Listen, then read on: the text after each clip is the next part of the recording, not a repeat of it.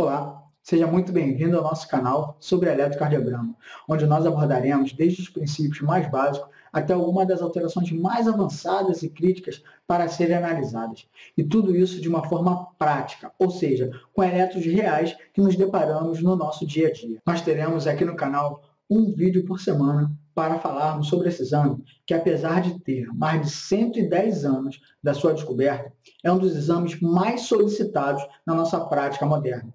E isso mostra o quão importante é estarmos preparados para analisar e interpretar as suas alterações. E ainda assim, apesar do que foi dito, muitos profissionais da área de saúde de categorias diversas têm um pensamento que não precisam saber ou até mesmo dizem que não é da minha função saber eletrocardiograma e suas alterações por não serem da sua área de especialidade. Porém, nós aqui do canal temos um pensamento totalmente diferente nós consideramos de extrema importância que todos os profissionais da área de saúde, como enfermeiros, médicos e fisioterapeutas, que realizam algum tipo de procedimento nos pacientes, ou até mesmo o avaliam para determinar um diagnóstico, devem estar preparados para interpretar esse exame e suas alterações quando necessário.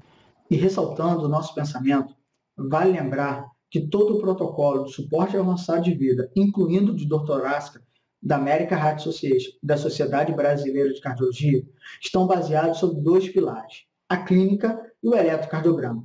E negligenciar qualquer um desses pilares provavelmente colocará em risco a vida do seu paciente. Com isso, espero que você consiga tirar o maior proveito possível de todo o conteúdo do nosso canal, pois estes estão sendo criados, construídos para facilitar o seu entendimento sobre esse exame complementar tão importante que é o eletrocardiograma. Então, se inscreva no canal para receber os próximos vídeos, dê uma curtida aqui embaixo e favorite o vídeo.